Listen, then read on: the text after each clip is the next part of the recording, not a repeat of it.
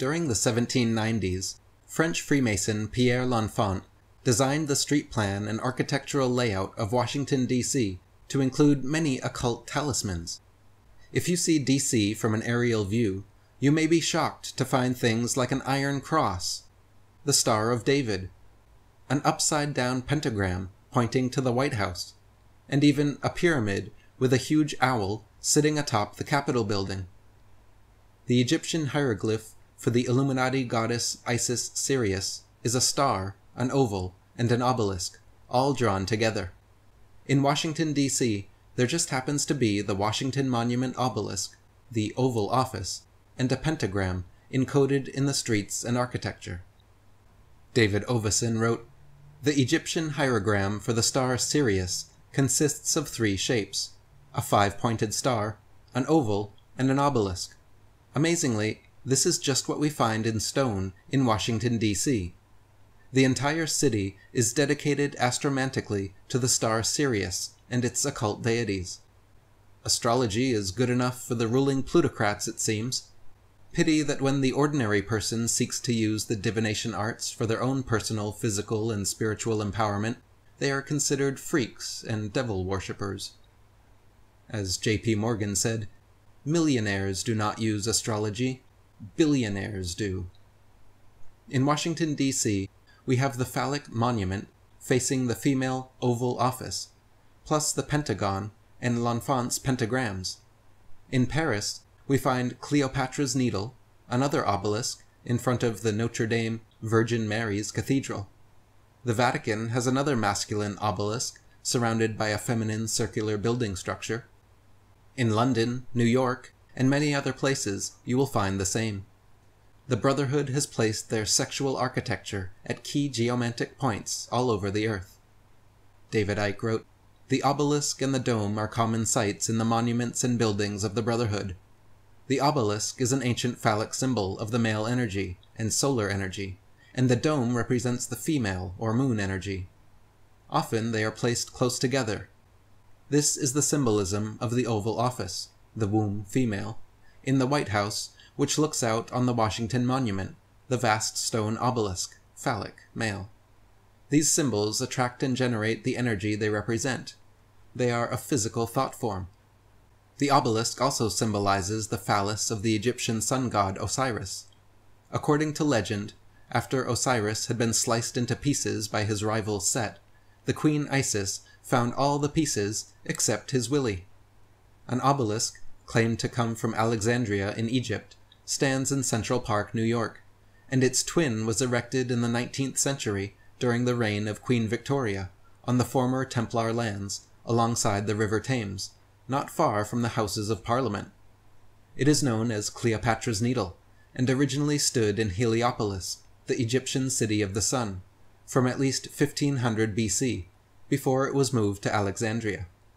A sphinx has been placed on either side at its London location. Another Egyptian obelisk, which was built in Luxor 3,200 years ago, now stands in the Place de Concorde in Paris, less than a minute's drive from the scene of Diana's crash. On the other side of the crash scene is the Eiffel Tower, another gigantic obelisk in disguise. The Washington Monument in Washington, D.C. is a colossal obelisk. The dome, from a Greek word meaning place of the gods, draws in and harnesses energy, as does the pyramid. They also keep the secrets of ancient ley lines and continue building along them. For instance, the cities of Boston, New York, Philadelphia, Baltimore, and Washington, D.C. are all on a perfect diagonal that continues down to Teotihuacan and all the way up to Stonehenge, Troy, and Baalbek. London to Giza, and Paris to Dendera are almost equidistant parallel lines as well. This geomantic knowledge was understood and kept hidden by ancient builders and masons, and remains that way today. David Icke wrote, Has anyone ever asked themselves why a war memorial nearly always has to be an obelisk? And why do you think the Washington Monument in the center of Washington, D.C. is a giant obelisk? because obelisks, like all these symbols and geometrical shapes, generate the energy they represent. I remember climbing some stone steps inside a big obelisk near Hebden Bridge in England, and feeling enormous male sexual energy all around me. I wondered what on earth was happening until I remembered where I was. Inside a male phallus, in effect. What a symbol is built to represent is the energy it will generate, because symbols are a physical manifestation of the thoughts which create them. These guys don't put their symbols everywhere just for fun. They do it because it helps to resonate the energy field to the vibrational frequency they want. In turn, this affects the thoughts and feelings of the people. The Masons are very familiar with astrology, astronomy, and astrotheology. They align all important commemorations, dedications, declarations, groundbreakings, grand openings, and other events to coincide with astrological phenomena. David Ovason wrote, The extraordinary truth is that the very existence of the Washington Monument is intimately linked with the Egyptian star Sirius, the Sihor, which the ancients represented in their sacred hieroglyphics as an obelisk as well as a star.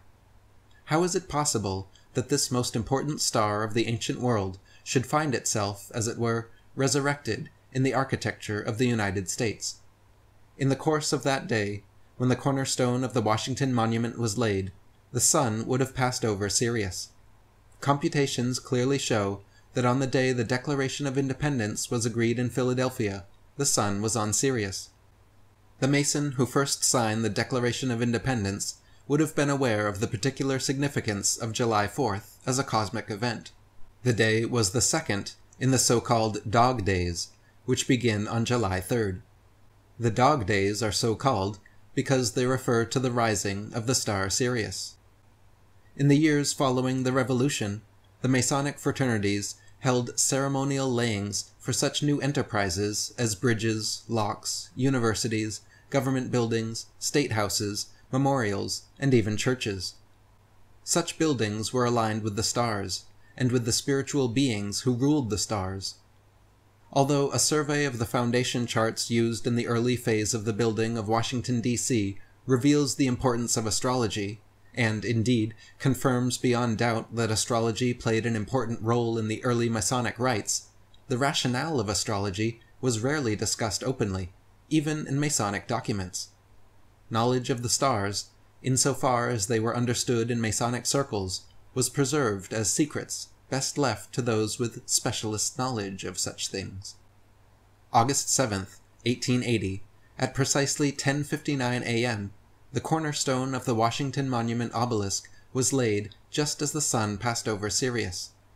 The day the foundation stone for the White House was laid, around noon, the moon entered the same 23rd degree of Virgo as the Dragon's Head node. On the morning of September 18th, 1793, the sun was also passing through this degree of Virgo when the Capitol building was founded. When the Library of Congress was founded, the Sun and Saturn were in conjunction in Virgo. And when the Scottish Rite Freemason House of the Temple cornerstone was laid on October 18, 1911, the Moon and Venus were in conjunction in Virgo.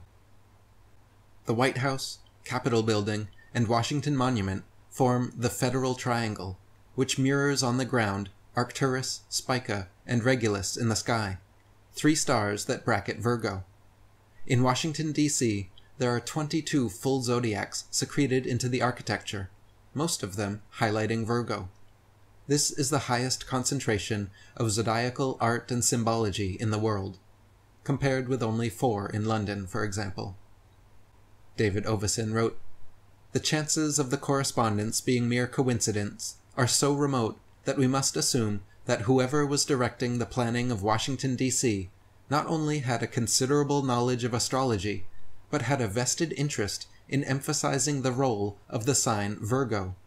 Time and time again, we shall see that a knowledge of the stars played an important part in every stage of the creative phases in the construction of the city. On evenings from August 10th to the 15th, as the sun sets over Pennsylvania Avenue, the constellation Virgo appears in the sky above the White House and the Federal Triangle. At that same moment, the setting sun appears precisely above the apex of a stone pyramid in the old post office tower, which is just wide enough to occlude the solar disk. According to the 19th century Freemason Ross Parsons, the Assumption of the Virgin Mary is fixed on the 15th of August because at that time the sun is so entirely in the constellation of Virgo that the stars of which it is composed are rendered invisible in the bright effulgency of his rays. John Coleman wrote, Man has always felt the need to dominate, and nowhere and at no time is the desire more prevalent than in this modern era. If it were not so, why all the need for secret societies?